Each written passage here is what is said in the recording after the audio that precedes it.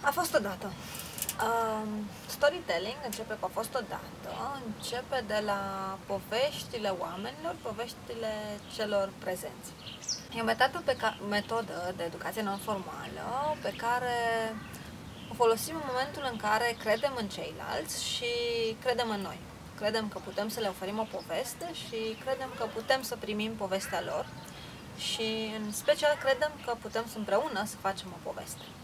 Dacă ar fi să luăm uh, mijloacele necesare, uh, bineînțeles sunt oamenii și poveștile lor, uh, cartea, uh, cărțile, cărțile care conțin și ele povești și orice obiect care prin natura lui are o poveste. Metoda în, în sine uh, are trei pași.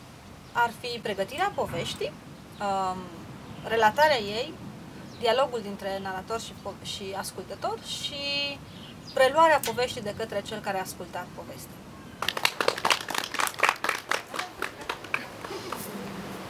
Ea poate fi folosită cu de, începând de la cei mai mici uh, până la adolescenți și chiar adulți care care au nevoie de povești pentru că au nevoie să retrăiască anumite senzații, anumite locuri, să meargă în anumite locuri și să, să se descopere în felul acesta.